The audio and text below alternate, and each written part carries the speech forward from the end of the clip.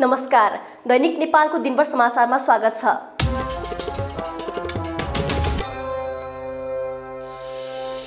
वर्तमान गठबन्धनको विकल्पका रूपमा एमालेसँग सहकारीको कुनै तयारी नरहेको माओवादी केन्द्रको स्पष्टीकरण निर्वाचनमा देखेका कमी कमजोरीलाई आगामी दिनमा सुधार गर्दै पार्टीलाई सुदृढ बनाउने पदाधिकारी बैठकको निर्णय।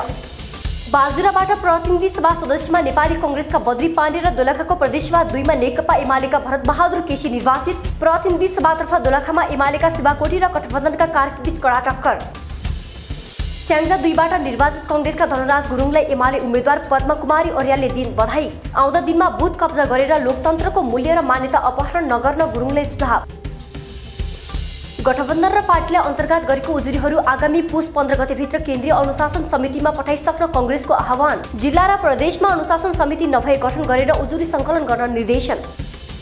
सरकारले सार्वजनिक गर्यो एक खर्ब पचास अर्ब पन्चानब्बे करोड एकानब्बे लाख सम्पत्ति विवरण चौवालिस अर्ब अठाइस करोड सतहत्तर लाख सहित गृह मन्त्रालय सबैभन्दा धनी मन्त्रालय कहलियो। राष्ट्रिय स्वतन्त्र पार्टी मकवानपुरका जिल्ला सभापति राजकुमार नेौपानेलाई कारवाही गर्न सदस्यहरूको माग कारवाही नभई पार्टीबाट सामूहिक राजीनामा दिने धम्की। अब बन्ने सरकारले राजनीतिक स्थिरता सुशासन विकास र गाउँमै रोजगारी प्रदान गर्ने नेपाली कङ्ग्रेसका वरिष्ठ नेता रामचन्द्र पौडेलको भनाई सत्तारूढ गठबन्धनको लक्ष्य शान्ति सुशासन र स्थिर सरकार भएको दावी। बैतडीमा एक्काइस वर्षीय माया लुहारको घाँटी रेटेर हत्या गर्ने सशस्त्र प्रहरीका जवान भरत कोली महेन्द्रनगरबाट पक्राउ भारत भाग्ने प्रयासमा रहेका उनलाई बैतडी पठाइयो। मलेसियामा सुरक्षा गार्डका रूपमा कार्यरत दुई नेपाली मृत भेटिए अर्का एकजना नेपाली पक्राउ।